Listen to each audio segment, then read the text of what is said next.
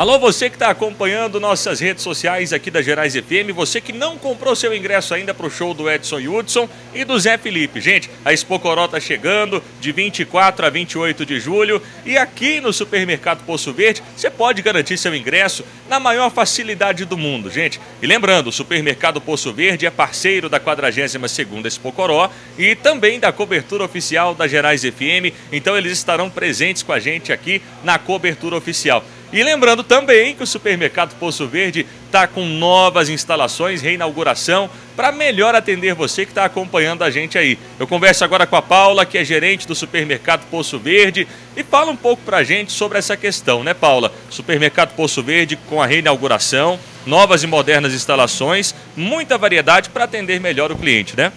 Com certeza, a gente está aqui aberto, pronto para atender nossos amigos clientes. A gente está aberto de domingo a domingo de segunda a sábado, de 6 da manhã às 8 e meia da noite e no domingo, de 7 da manhã às 5 horas da tarde.